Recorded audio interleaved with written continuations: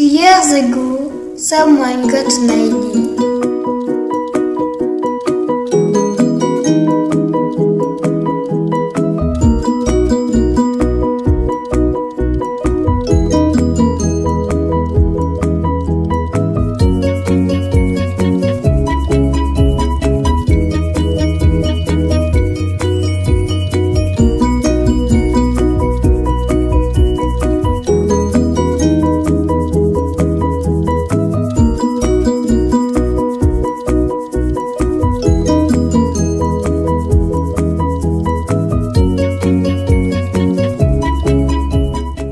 you know what?